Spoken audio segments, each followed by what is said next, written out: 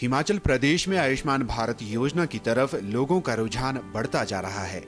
छोटी बड़ी करीब 1800 बीमारियों को इस योजना में शामिल किया गया है और सभी बीमारियों का इलाज निशुल्क किया जा रहा है। प्रदेश में करीब 21 लाख लोगों को आयुष्मान भारत योजना में शामिल किया गया है और इनका चयन सामाजिक आर्थिक सर्वेक्षण 2011 के आंकड़ों के आधार पर हुआ है। शिमला ज़िले में चौपाल क्षेत्र के हनल गाँव के निवासी गोपाल शर्मा भी इनमें से एक हैं, जो इन दिनों शिमला के दीनदयाल उपाध्याय अस्पताल में उपचाराधीन है। गोपाल शर्मा का पेट की पथरी का ऑपरेशन हुआ है और सारा खर्च योजना के माध्यम से केंद्र सरकार वहन कर रही है।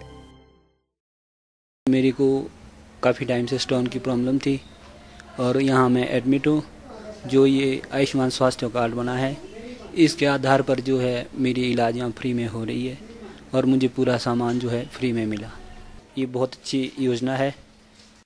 गोपाल शर्मा की पत्नी संगीता के मुताबिक आयुष्मान भारत योजना शुरू कर केंद्र सरकार ने गरीबों का ख्याल रखा है और उन्हें लंबी उम्र व स्वस्थ आयु जीने का मौका मिला है। ये जो आयुष्मान योजना चली है ये बहुत अच्छा है। जितना भी ऑपरेशन का सामान है, हमने कुछ भी बाहर से नहीं लाया, हमें सब अंदर से मिल गया था। हम इसके लिए, इस योजना के लिए बहुत बहुत धन्यवाद करते हैं।